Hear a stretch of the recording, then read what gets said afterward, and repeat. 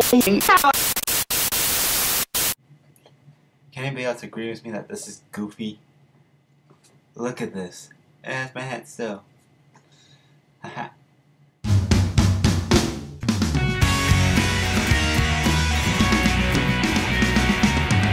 Once upon a time, there was a dude named Cartoonist Dude, or Andrew.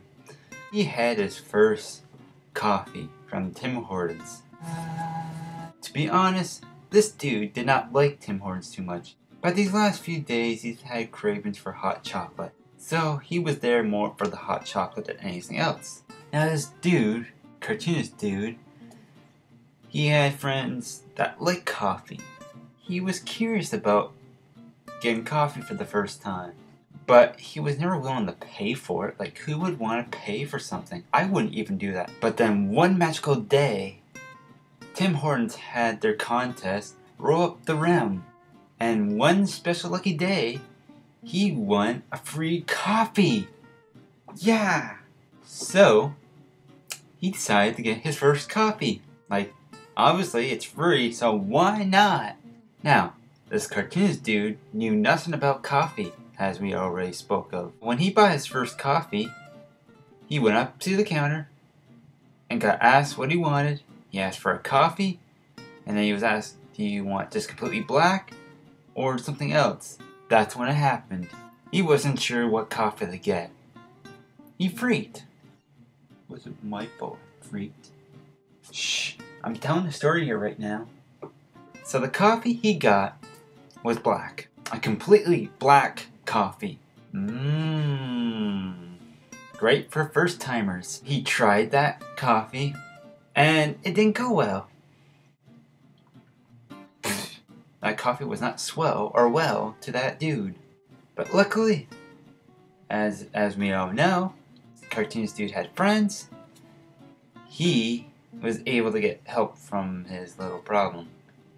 His friends came, they helped him get sugar and cream, and everything was so much better. And they lived happily ever after. Other than people in his whole class knowing this story, I was never meant for storytelling. But I thought that was just kind of fun. And make sure you know when I say dude, I mean cartoonist dude. I just don't want to keep saying cartoonist dude, cartoonist dude, cartoonist dude. Short form was dude, and I could have used Andrew, but hey, I have a username. I might as well use it now. Something strange happened. I got a video response for this YouTube matchmaker thing. I didn't sign up for it, so I'm pretty sure the user who did sign up, I was matched with. So, here's just a sample clip of me being mentioned in it. Jim and Gary here, the YouTube matchmakers, and we have one hell of a match. This guy, cartoonist dude, Andrew, you are an animator sent down from heaven. He's the number one animator on YouTube. Not cartoonist dude like 836 or 812 Yeah, 4. whatever. He's cartoonist up there. dude, He's- okay? yeah, he's number one, please.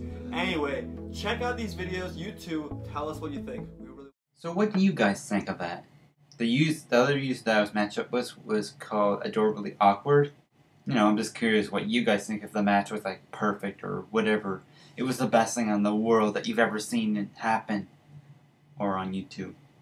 Now, I'm pretty sure this is pretty much like a fun thing because in reality, that'd be just way too hard to like ever meet another YouTuber since people are like across the world. So it's like it's just impossible. But it was kind of cool to be mentioned still. Uh, if you want to check my last video, check tock. here. tick tock Anytime now. tick tock Well, it's end anyways. Tock. But you know, I don't think you want to wait and see me point Tock. like this forever. tick So you better Tock. choose soon, or you're just gonna be bored here. tock tick tock. I'll catch you viewers later.